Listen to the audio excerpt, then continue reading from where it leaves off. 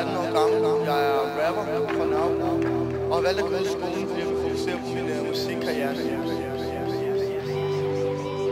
Det min drøm går på, det er at være op i den største, der er i Danmark. Øh, den største rapper, der er i Danmark.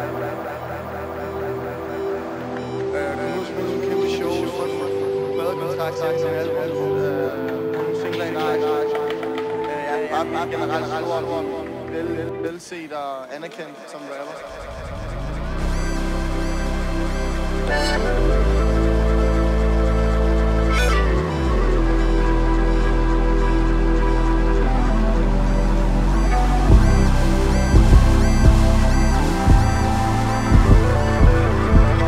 friend